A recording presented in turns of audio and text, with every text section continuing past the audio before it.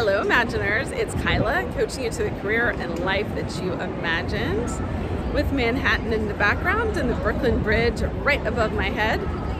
I'm definitely living the life that I imagined today, which got me thinking about how I started living the life I imagined and who inspired me. And I want to tell you about a couple of those people. When I was working in corporate America, I read a book called One Year Off, which was written by David Cohen, and it was about a journalist who basically sold everything he owned and took a trip around the world with his family. And I was so fascinated by this story that I actually wrote to the author and I asked him, How did you do this? Practically, how did you do this? And he gave me some great tips and tricks, and that started me down thinking I could do this too. And then a couple years later, I started following a woman on social media who had a page called The Adventures of Anna.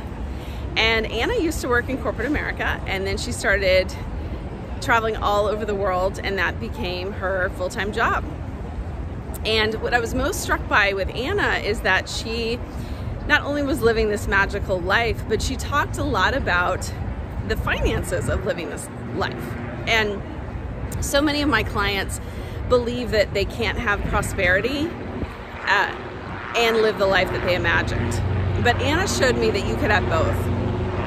And she actually even talked about a lot of the things that she was spending money on living this corporate life that she didn't want.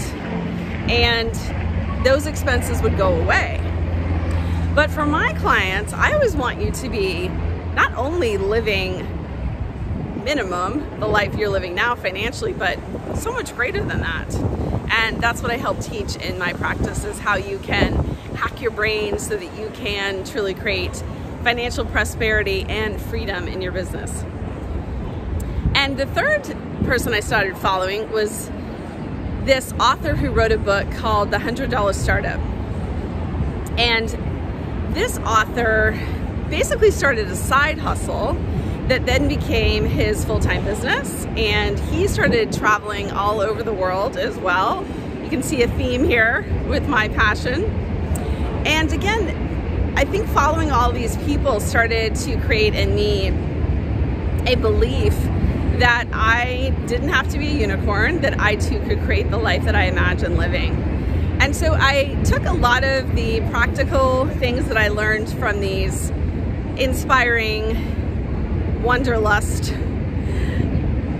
people that I uh, that I aligned with, and I started to create a roadmap. And that roadmap is now what I teach in my coaching practice. So I thought this was such a apropos place to think about freedom. We we align the so much of New York with freedom and possibility. If you can make it here, you can make it anywhere.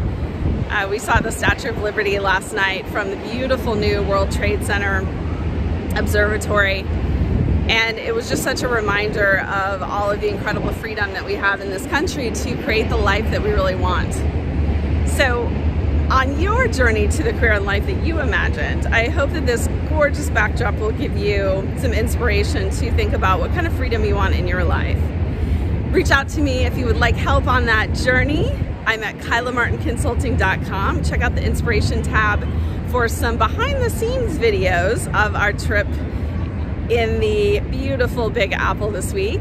And you know I'm cheering you on to this amazing life and career that you imagine that you can have. Take care, everyone.